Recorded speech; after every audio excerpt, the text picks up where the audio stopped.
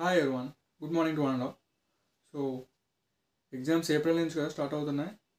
So మీకు ఇంకా like February March like approximately two months time ఉంది. సో కొంచెం ఎక్కువ టైం ఉంది. సో అందుకనే మనం డైరెక్ట్గా స్ట్రైట్గా ఇంపార్టెంట్ క్వశ్చన్స్కి వెళ్ళకుండా లైక్ వీ షేప్ లర్నింగ్కి వెళ్దాం. ఓకేనా లైక్ ఏంటంటే like starting series of videos ఉంటాయి కదా. సో ఆ సిరీస్ ఆఫ్ వీడియోస్లో ప్రతి లెసన్లో ఇంపార్టెంట్ క్వశ్చన్స్ కాకుండా కాన్సెప్ట్స్ చెప్తా. సో లైక్ అంటే ఇంపార్టెంట్ క్వశ్చన్స్ చదివారు అనుకోండి అవి పడితే రాయగలరు లేదా రాయలేరు. అంటే మార్క్స్ పోయే ఛాన్స్ ఉంది. అంటే ఇప్పుడు ఎగ్జామ్ ఇంకా వన్ వీక్ టూ వీక్స్ ఉందనుకో అప్పుడు ఇంపార్టెంట్ క్వశ్చన్స్ చెప్పినా అర్థం ఉంది. లైక్ ఇంకా టూ మంత్స్ ఉంది కదా సో మీ చేతిలో చాలా టైం ఉంది. సో అందుకనే ఈ వీ షేప్ లర్నింగ్ ఏంటంటే లైక్ ఫస్ట్ బ్రాడ్గా ఉంటుంది తర్వాత అలా షార్ట్ అయ్యి షార్ట్ అయ్యి లాస్ట్కి ఏముండదు. సో అలా వస్తుంది. అంటే ఏంటంటే ఇప్పుడు ఇప్పుడు ఒక కంటిన్యూస్గా ఈ వీ ఈ వీక్ నెక్స్ట్ వీక్ వచ్చే వీడియోస్ అన్నీ కాన్సెప్ట్స్ అంటే ఇంపార్టెంట్ కాన్సెప్ట్స్ మీద ఉంటాయి. అంటే లెసన్లో చాలా కాన్సెప్ట్స్ ఉంటాయి. మీరు అన్నీ చదవాల్సిన అవసరం లేదు. సో ఇంపార్టెంట్ కాన్సెప్ట్స్ చెప్తే అవి చదువుకుంటే సరిపోతుంది. సో ఈ సిరీస్ అంతా అయిపోయేసరికి మీకు ఇంపార్టెంట్ కాన్సెప్ట్స్ తెలుస్తాయి. సో మీ మీకు అందులో వచ్చిన టాపిక్ వదిలేసి రాని టాపిక్ చదువుకుంటారు. సో నెక్స్ట్ సిరీస్ అంటే ఈ సిరీస్ అయిపోయిన తర్వాత మళ్ళీ నెక్స్ట్ లిస్ట్ ఆఫ్ సిరీస్ ఉంటుంది కదా. అందులో ప్రతి సబ్జెక్ట్లో ఇంపార్టెంట్ క్వశ్చన్స్ వస్తాయి. ఆ నెక్స్ట్ సిరీస్లో అంటే మొత్తం మూడు సిరీస్లు ప్లాన్ చేస్తా. ఆ నెక్స్ట్ సిరీస్లో ఏమొస్తాయంటే డెడ్ అంటే ఓన్లీ పాస్ అవ్వడానికి సరిపోయే క్వశ్చన్స్ టిప్స్ అండ్ ట్రిక్స్ వస్తాయి. సో త్రీ టైప్స్ సిరీసెస్ వస్తాయి. సో ప్రతి సిరీస్లో అన్ని సబ్జెక్ట్స్ గురించి ఉంటుంది. సో ప్రజెంట్ ఈ వీక్ అండ్ నెక్స్ట్ వీక్ వచ్చే వీడియోస్లో అన్నింటిలో ఇంపార్టెంట్ కాన్సెప్ట్స్ ఉంటాయి. సో అన్ని కాన్సెప్ట్స్ చదవకుండా ఆ కాన్సెప్ట్స్ ముందు చదువుకుంటే మీకు చాలా ఈజీ అవుతుంది. ఆల్రెడీ కొన్ని వచ్చి ఉంటాయి కదా రానివి చదువుకుంటే మీకు ఈజీ అవుతుంది. అండ్ ఆ నెక్స్ట్ వీక్స్ అలా వెళ్ళే కొద్దీ అలా నేరో డౌన్ చేసి ఇంపార్టెంట్ క్వశ్చన్స్ లేకపోతే చాలా ఇంపార్టెంట్ క్వశ్చన్స్ అని చెప్పి ఇస్తూ ఉంటాను. సో ప్రతి వీడియోలో ఒక్కొక్క సబ్జెక్ట్ చెప్తూ ఉంటాను. సో మీ ఫ్రెండ్స్కి ఛానల్ని షేర్ చేయండి. వీడియో లైక్ చేయండి సబ్స్క్రైబ్ చేయండి. సో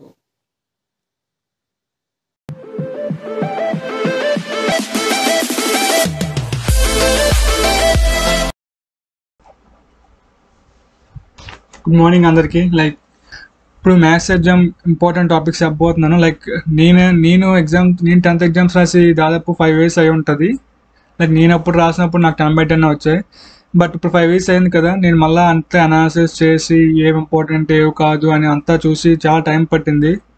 బట్ స్టిల్ అని మీకు చెప్పాలని అనుకున్నాను కాబట్టి చెప్తున్నాను. సో లైక్ మీ నుంచి నేను ఏమ మీరు నాకు చేయగలిగింది ఓన్లీ ఒక లైక్ మీ ఫ్రెండ్స్కి షేర్ చేయడం ఛానల్ సబ్స్క్రైబ్ చేయడం. సో మీరు అది చేస్తారని ఆశిస్తున్నాను. అండ్ తర్వాత సిమిలర్ ట్రయాంగిల్స్. ఈ చాప్టర్ కొంచెం కష్టపడాలి. అంత అంత ఈజీ కాదు. కొంచెం డయాగ్రామ్స్ పర్ఫెక్ట్గా అర్థం చేసుకోవాలంటే ఎక్కడ తీరం అప్లై చేయాలి ఏ తీరం అప్లై చేయాలి. చాలా ఉంటాయి కదా. ఏఎస్ఏ ఏఏ తీరం అని ఎస్ఎస్ఎస్ తీరం అని ఎస్ఏఎస్ తీరం అని పైథాగరస్ తీరం అని తేల్స్ తీరం అని. సో ఈ తీరం చాలా ఇంపార్టెంట్ పైథాగరస్ తీరం తేల్స్ రెండింటిని ప్రూవ్ చేయమని అడిగిస్తే అడిగేస్తారు ఫోన్ మార్క్స్కి సో ఒకసారి చూసుకోండి. ఎలా ప్రూవ్ చేయాలి? తేల్స్ తీరం పైథాగరస్ అని. అండ్ ఈ ఎక్సెల్ సమ్స్ కూడా కొంచెం కష్టం. సో కొంచెం కష్టపడండి. So eight point eight point four ఒకసారి అలా చూసుకోండి సమ్స్ అంటే అలా పైపు అలా చూసుకోండి. ఎందుకంటే అసలు చూడకపోతే ఐడియా రావు. అంటే ఎక్కడ ఎలా అప్లై చేయాలి అనే ఐడియా రావాలంటే కొన్ని ఎగ్జాంపుల్స్ చూడాలి లేకపోతే ఐడియా రావడం చాలా కష్టం. సో ఒకసారి చూసుకోండి. అక్కడితో అలా అది అయిపోతుంది అండ్ కీ పాయింట్స్ అదే కీ పాయింట్స్లో ఈ థేరమ్స్ అన్ని స్టేట్మెంట్స్ ఉంటాయి. ఈ స్టేట్మెంట్ చాలా ఇంపార్టెంట్ లైక్ అంటే వన్ మార్క్లో డిఫైన్ తెలిస్తే మనిషి అనుకోండి. మీరు డిఫైన్ చేయగలగాలి లేకపోతే define angle angle angle angle angle theorem అన్నాను అనుకోండి. దాని మీద రాయగలగాలి. సో అన్ని definitions theorems key points formulas పక్కాగా చదవాలి. ఎగ్జాంపుల్స్ అంతా అన్నింటిలో చూసుకోవాలి. ఇంకా ఎక్సైజ్ సమ్స్లో ఒక్కొక్క ఒక్కొక్కటి వదిలేసి అంటే సింబల్ కొన్ని అన్ని వదిలేసి మిగతా ఒకసారి చూసుకుంటే సరిపోతుంది. అదే ప్రిపరేషన్ అలా చేస్తే సరిపోతుంది. అండ్ తర్వాత ట్యాంజెంట్స్ అండ్ సీక్వెన్స్ పక్క eight marks question construction so constructions చాలా తక్కువే ఉంటాయి. అంటే కొన్ని మోడల్స్లోనే ఉంటాయి. సో ఆ మోడల్స్ అన్ని ఒక్కొక్కసారి ప్రాక్టీస్ చేసిస్తే అయిపోద్ది. పక్క ఎయిట్ మార్క్స్ క్వశ్చన్ సో జాగ్రత్తగా చూసుకోండి. తర్వాత ఫోర్ మార్క్స్ క్వశ్చన్స్ ఏం వస్తాయి అంటే లెంత్ ఆఫ్ ద ట్యాంజెంట్ అని ఉంటాయి కదా సీకెంట్ అని ఉంటాయి. లైక్ కొన్ని కొన్ని బేసిక్ సమ్స్ ఉంటాయి కదా నైన్ పాయింట్ త్రీ చూసుకుని ఒకసారి. కొన్ని కొన్ని బేసిక్ సమ్స్ ఉంటాయి కదా ఆ తీరం అంటే సెంటర్ నుంచి పర్పండిక్యులర్ డిస్టెన్స్ తీరం ఉంటుంది కదా. సో అదొకటి అలా తీరమ్స్ కొంచెం చూసుకోండి అండ్ కొన్ని ఎక్సైజ్లో లాస్ట్లో ఇంపార్టెంట్ సమ్స్ ఉంటాయి చూడండి అవి చూసుకోండి ఫోర్ మార్క్స్కి. అండ్ ఏమైనా ఫార్ములాస్ ఉంటే ఫార్ములాస్ చూసుకోండి. అంతకుమించి చాప్టర్ నుంచి ఏమైనా ఆడడానికి ఏం స్కోప్ లేదు. బట్ అడిగిన కూడా ఫార్ములాస్ అని జాగ్రత్త చూసుకోండి. అండ్ కన్స్ట్రక్షన్స్ బాగా బాగా వేయండి. అంటే ఎయిట్ మార్క్స్ కదా మీరు పర్ఫెక్ట్గా వేయాలి. మరీ ఎలాగోలాగా పైపైన వేసేస్తే అవ్వదు వాటి వాడి మినిమం చెక్ వాడు తెలిసిపోద్ది. ఏ రేంజ్లో డయాగ్రామ్ వస్తుందా అని. సో మీరు అలా వేయగలిగితే చాలా బాగుంటుంది. తర్వాత టెక్నోమెట్రీ అన్నీ వచ్చినట్టు అనిపిస్తుంది కానీ ఎక్కువ కన్ఫ్యూజ్ అయ్యే టాపిక్ సో కొంచెం ప్రాక్టీస్ చేయాలి. ఇది ఎక్కువ మార్క్స్ రావాలంటే. సో ఎప్లికెన్స్ టెక్నోమెట్రీలో ఏంటంటే బేసిక్ డెఫినేషన్స్ అంటే సైన్ థియేటర్ అంటే ఆపోజిట్ బై హైపోటెనస్ అలాగా ప్రతి దానికి డెఫినేషన్స్ ఉంటాయి కదా అవి కొంచెం ఐడియా ఉండాలి. And eleven point one eleven point two చేస్తే బేసిక్ ఐడియా ఐడియా వస్తుంది. ఎగ్జాంపుల్ ఫైవ్ ఇందులో ఎగ్జాంపుల్ ఫైవ్ కొంచెం ఇంపార్టెంట్లో అనిపించింది. ఒకసారి చూడండి. అండ్ తర్వాత టెక్నోమెటిక్ ఐడెంటిటీస్ ఉంటాయి కదా sines cot plus cos cot equal to one అలాగా అన్నీ ఉంటాయి కదా ఆ ఐడెంటిటీస్ చూసుకుంటే డైరెక్ట్గా అడిగేయచ్చు బిట్లలో. ఎక్కడ స్కోప్ మార్క్స్ పోవడానికి స్కోప్ అవ్వకూడదు. పర్ఫెక్ట్గా హండ్రెడ్ హండ్రెడ్ దిగాలి. అందుకని ఎంత డీప్గా చెప్తున్నాను. లేకపోతే పై పైన చెప్పుకొని వెళ్ళిపోవచ్చు కానీ ఎక్కువ మార్కులు రావాలి కాబట్టి అంత డీప్గా చెప్తున్నాను. సో లెవెన్ పాయింట్ ఫోర్ చూడండి ఒకసారి. కొంచెం ఇంపార్టెంట్ సమ్స్ ఉన్నాయి అందులో. పడే స్కోప్ ఉన్న సమ్స్ ఉన్నాయి. ఖచ్చితంగా ఎయిట్ మార్క్స్ కానీ ఫోర్ మార్క్స్ కానీ పడే ఛాన్స్ ఉన్నాయి అందులో. అండ్ ఫార్ములా చాలా ఇంపార్టెంట్ ఈ చాప్టర్లో కూడా. ఫార్ములా తెలియకపోతే ఏం చేయలేం. ఇప్పుడు సైన్ థర్టీ అంటే ఆపోజిట్ బై అపిరెన్స్ అని తెలియకపోతే మనం ఏం చేయగలం ఏం చేయలేం. సో ఆ ఫార్ములా చాలా ఇంపార్టెంట్ ఆ ఫార్ములాస్ అనేది గుర్తుపెట్టుకోండి. తర్వాత అప్లికేషన్ ఆఫ్ ట్రిగ్నోమెట్రీస్ ఇది చాలా ఇంపార్టెంట్ ఇంపార్టెంట్ లాజిక్ ఉండాలి. అంటే ఆ డిచిన క్వశ్చన్ని మనం డయాగ్రామ్గా వేయగలగాలి డయాగ్రామ్గా వేయగలిగితే అక్కడ ఆన్సర్ అయిపోయింది. Sine theta cos theta apply చేసేసి ఆ- యాంగిల్ బట్టి ఆ థీటాలో అప్లై చేస్తే ఆన్సర్ వచ్చేస్తుంది. కానీ ఆ ఇచ్చిన క్వశ్చన్ని డయాగ్రామ్లోకి మార్చగలగడమే చాలా ఇంపార్టెంట్ సగం క్వశ్చన్ అక్కడ అయిపోతుంది. మీరు మార్చగలిగారంటే ముందున్న ముందు చాప్టర్లో ఉన్న టెక్నోమెట్రిక్ నాలెడ్జ్ ప్రకారం ఆ ప్రాపర్టీస్ యూజ్ చేసి ఇది చేసేయచ్చు. So question to diagram logic practice చేయండి. ఎలా చేస్తారంటే టెక్స్ట్ బుక్లో క్వశ్చన్ చూడండి. నోట్స్ చూడకుండా డయాగ్రామ్ మీరే వేసేయండి. కరెక్ట్గా మీరు నోట్స్ చూడండి. ఆ డయాగ్రామ్ మీరు వేయగలిగితే మీ కాన్సెప్ట్ వచ్చినట్టే ఇంకా మీరు కొంచెం రిలాక్స్ అవ్వచ్చు. ఒక గీలిపోయి అనుకోండి అప్పుడు ఒకసారి చూడండి ఎక్కడ తప్పు చేసాం ఏం తప్పు చేసాం అని. అలా ప్రిపేర్ అవ్వండి. And eleven point one two కూడా చూడండి. అంటే ఇందులో అన్ని మోడల్స్ వేరే వేరే మోడల్స్ కదా. సో ఒకసారి అలా పై పైన చూసుకు వెళ్ళిపోండి నేను. అండ్ కీ పాయింట్స్ ఫార్ములాస్ ఏమైనా ఉంటే ఫార్ములాస్ ఏమైనా చూడండి.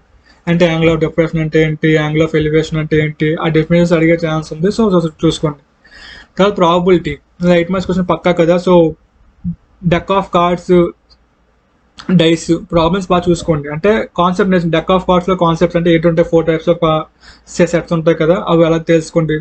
డెక్ డైస్లో కాన్సెప్ట్ తెలుసుకోండి. అంటే ఈవెన్ నెంబర్ పడే ప్రాబిలిటీ ఆడ్ నెంబర్ పడే ప్రాబిలిటీ అలా ప్రాబిలిటీస్ ఉంటాయి కదా అలా బాగా బాగా చూసుకొని బేసిక్ డెఫినేషన్స్ అంటే వాట్ డిఫైన్ ప్రాబిలిటీ అంటారు. లైక్ చాలా అంటారు కదా సో ఆ బేసిక్ డెఫినేషన్స్ తప్పు అవ్వకుండా చూసుకోండి.